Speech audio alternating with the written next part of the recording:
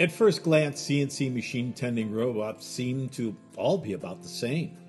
But once you start looking deeper, you'll find that the differences are night and day. This is the first of an eight part video series that was created to help machine shop leaders who are new to exploring CNC machine tending robots. It's also for those who bought the wrong robot the first time and are now trying to remedy that situation. The place to start is a look at raw and finished parts management. These are the six key questions you'll need to ask because getting the right robot for your operation starts right here. Number one, how big is the parts table? Size matters. Why does it matter? Question number two, how many parts can be placed on the table? Number three, how do you optimize the parts so you can run more parts in the job before reloading?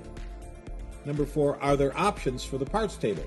And if so, what are they? For example, is there a powered table option? Is there nesting for pieces that have a unique shape and size? Question number five, what other options are available? Number six, look at efficiency of placement. What's the impact of constantly opening and closing drawers to access the parts? And how many parts can fit in those drawers? You'll have this robot for at least 15 years or longer. So these questions are the first step in getting the right robot for your operation. There are big differences in robots. There are also a lot of small differences that add up.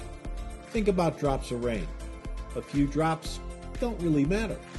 Get a bucket full of rain, and that can have an impact. To learn more about purpose built machine tending robots, visit our website.